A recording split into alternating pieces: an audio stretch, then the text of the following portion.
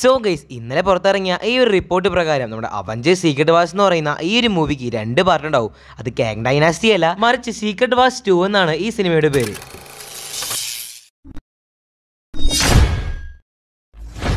So guys പറഞ്ഞു വന്നതുപോലെ തന്നെ നമ്മുടെ അവഞ്ചി സീക്രട്ട് വാസ് എന്ന് പറയുന്ന ആ ഒരു വലിയൊരു പ്രൊജക്റ്റിന് വേണ്ടിയിട്ട് നമ്മൾ എല്ലാവരും കാത്തിരിക്കുക തന്നെയാണ്. അവഞ്ചീസ് കാങ് ഡൈനാസ്റ്റി എന്ന് പറയുന്ന ആ ഒരു കാങ്ങിന്റെ വലിയൊരു പടത്തിന് ശേഷം നമുക്ക് ലഭിക്കാൻ പോകുന്നത് ഡോക്ടർ ഡൂമിന്റെ സീക്രട്ട് വാസ് ആയിരിക്കും. സീക്രട്ട് വാസ് വണ്ണിലൂടെ നമുക്ക് കാങ്ങിന്റെ ചില പ്രശ്നങ്ങൾ കാണാൻ സാധിക്കുമെങ്കിലും ഈ സീക്രട്ട് വാർസിന്റെ ഒരു പകുതിയോട് കൂടി ഡോക്ടർ ഡൂം എന്ന് പറയുന്ന ആ ഒരു വലിയ വില്ലൻ തന്നെ എം സിയിലേക്ക് വരുന്നതായിട്ട് നമുക്ക് കാണാൻ സാധിക്കും. ഇതിനുള്ള ഹിൻസൊക്കെ ഇപ്പോൾ തന്നെ നമ്മുടെ എം സിയുവിന്റെ ഭാഗത്തുനിന്ന് എല്ലാ ഫാൻസും അല്ലെങ്കിൽ കുറേയധികം ഫാൻ തിയറീസും കുറേയധികം പ്ലോട്ട് ലീക്സ് ഒക്കെ കുറേ പേര് പറക്കുന്നുണ്ട്.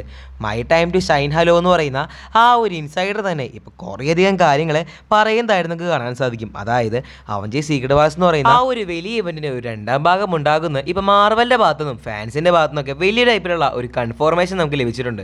ഇനി പറയുകയാണെന്നുണ്ടെങ്കിൽ നമ്മുടെ കോമിക്സ് ഭാഗത്തൊക്കെ നോക്കുകയാണെന്നുണ്ടെങ്കിൽ ഈ സീക്രട്ട് വാർസ് എന്ന് പറയുന്ന ഈ ഒരു ഇവന്റിന് വലിയൊരു പ്രാധാന്യം തന്നെ കോമിക്സിൽ നമുക്ക് കാണാൻ സാധിക്കും.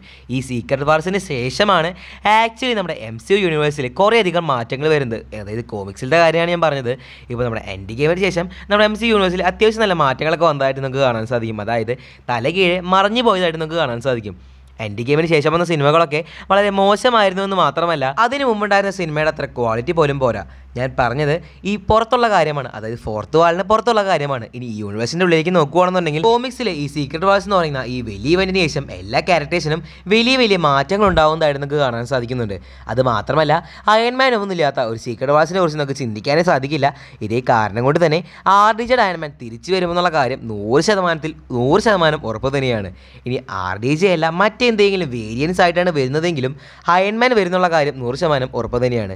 ഇനിയിപ്പോൾ വേറൊരു പ്ലോട്ട് ആയിട്ട് വരുന്നത് നമ്മുടെ മൾട്ടിവേഴ്സ് ഓഫ് മാൻഡസിൽ കണ്ടതാണ് ഇലിമിനാലിറ്റിനെ നമ്മുടെ ഡോക്ടർ സ്ട്രേഞ്ച് അവിടെ പോയി കൊല്ലുന്നത് അല്ലെങ്കിൽ വാണ്ടയും ഡോക്ടർ സ്ട്രേഞ്ച് കൂടിയിട്ടുള്ള ആ ഫൈറ്റിനിടയിൽ ഇലിമിനാലിറ്റി മെമ്പേഴ്സ് ഒക്കെ നമുക്ക് കാണാൻ സാധിച്ചു. കോമിക്സിലൊക്കെ ഇലിമിനാലിറ്റി ഒരു മെയിൻ മെമ്പറായിട്ട് നമുക്ക് കാണാൻ സാധിക്കുന്നത് നമുക്ക് ടോണി സ്റ്റാർക്കിനെയാണ് അല്ലെങ്കിൽ സാക്ഷാൽ അയൺമാനെ തന്നെയാണ്.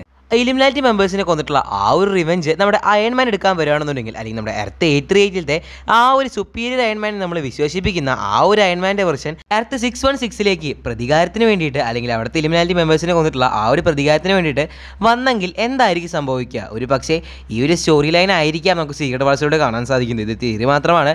സോ എന്തൊക്കെ തന്നെയാലും നമുക്ക് സീക്രട്ട് വാഴ്സ് എന്ന് പറയുന്ന ആ ഒരു വലിയ ഇവന്റിന് വേണ്ടിയിട്ടും അത് തുടർന്ന് വരാൻ പോകുന്ന സീക്രട്ട് വാൾസിന്റെ രണ്ടാം ഭാഗത്തിന് വേണ്ടി നമുക്ക് അതിരിക്കാൻ സ്വതുപോലത്തുള്ള ഇൻട്രസ്റ്റിംഗും ഇൻഫോർമേറ്റീവ് ആയിട്ടുള്ള ഫാഷനായിട്ട് ചാനൽ ഇതിൽ സബ്സ്ക്രൈബ് ചെയ്തിട്ടില്ലെങ്കിൽ സബ്സ്ക്രൈബ് ചെയ്യാനും പിന്നെ വീഡിയോ ഒന്ന് ഇഷ്ടമായെങ്കിൽ ഒന്ന് ലൈക്ക് ചെയ്യാനും ഒന്ന് ശ്രദ്ധിച്ചേക്കുക